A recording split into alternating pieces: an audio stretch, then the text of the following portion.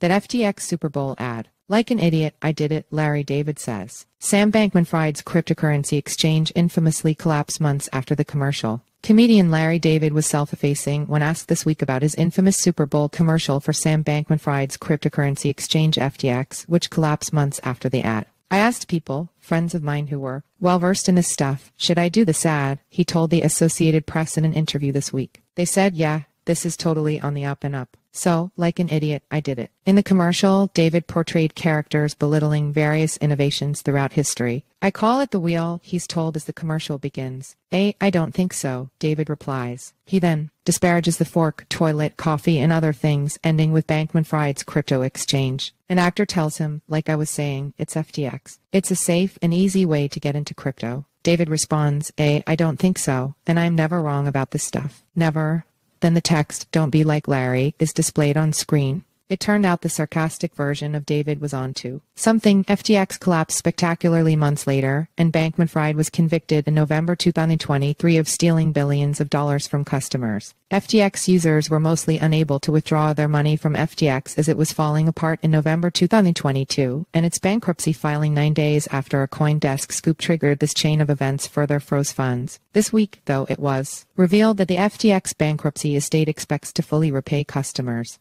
How David will fare is unclear. Part of my salary was in crypto, so I lost a lot of money, he told the AP.